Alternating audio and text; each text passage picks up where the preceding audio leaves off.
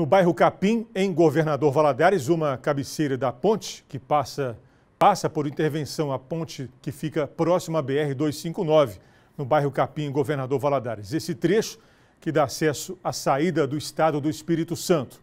Outras rotas estão disponíveis para os condutores que chegam ou saem da cidade.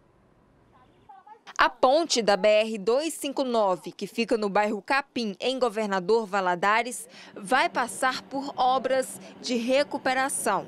De acordo com o engenheiro civil, falta uma ala de proteção deste lado da pista. Por esse motivo, houve um deslizamento de terra e, como consequência, surgiu um buraco na pista. A ala de proteção ela tem a finalidade de quando a água que passa por baixo da ponte atinge determinado nível, essa ala ela protege a cabeceira da ponte contra o assoreamento, carregamento do material, que é um material de aterro que tem aqui onde a gente está nesse momento aqui. Então, é, essa recomposição que a gente está fazendo, ela visa solucionar um problema que foi levantado à época. As obras começam nesta segunda-feira. O prazo para término é em torno de 10 dias, mas vai depender das condições climáticas. O trabalho de recuperação consiste em fazer uma contenção e aterro no local. O objetivo é ter uma estrutura mais segura. Assim que o maquinário chegar, a gente vai iniciar uma etapa já de remoção desse material. O pessoal do trânsito nosso já está fazendo as devidas intervenções para a população saber por onde passar. Durante a realização das obras, o tráfego de veículos na ponte está proibido nos dois sentidos da pista.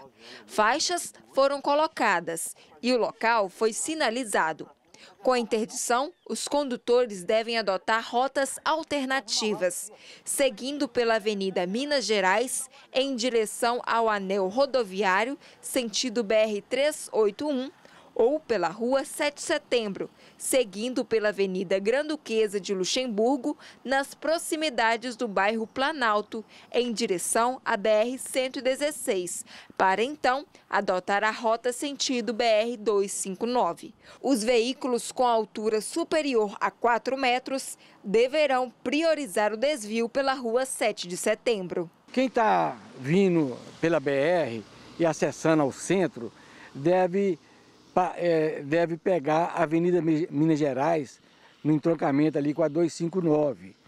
Ou então, lá na BR-116, né? Aí você pode pegar, aí tem vários, pode pegar JK, é, você pode pegar também a Avenida é, Granduquesa de Luxemburgo, é, ressaltando só que os veículos é, acima de 4 metros não deverá acessar o centro é, via é, Avenida Minas Gerais, porque o mergulhão, a altura máxima é 4 metros. O diretor do Departamento de Trânsito pede atenção aos condutores. Eu só recomendo que os motoristas é, é tenham mais atenção, né?